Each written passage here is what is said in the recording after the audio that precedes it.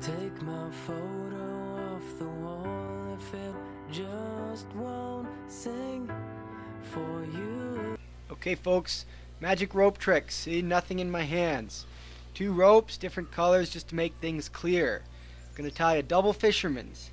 Grab one rope, go around the other one once, back over itself, around the other one again, and then back over itself. I'm not, I don't have enough here, so I'll work some through. And then back underneath those two loops I just made. Pull it tight. This is how it should look.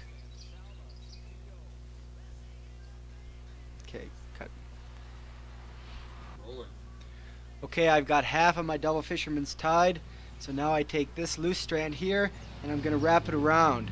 I have two choices which direction. I can go this direction or I can go this direction. You'll find that one direction gives you always a better knot.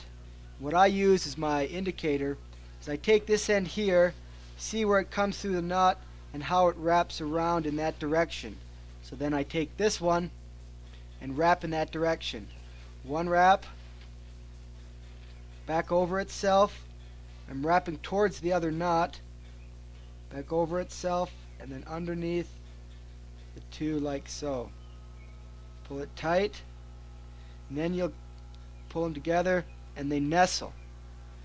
Right here, you can see how they nestle against each other, and if you turn the knot, you have four strands all nice and symmetrical. This is how your fisherman's should look. This is the strongest configuration of the knot.